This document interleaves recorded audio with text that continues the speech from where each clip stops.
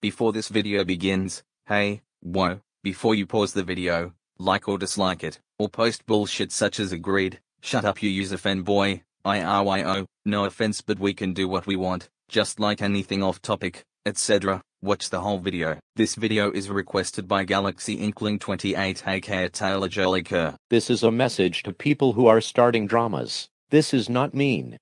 Guys, can you please stop with the dramas? Dramas like the Nicody drama, My drama, Alexander Payton drama, Taylor Leslie drama, Stefan Swaby drama, and the Amanda Andrea Rose drama were out of control. My drama was started for bullying Alexander Payton.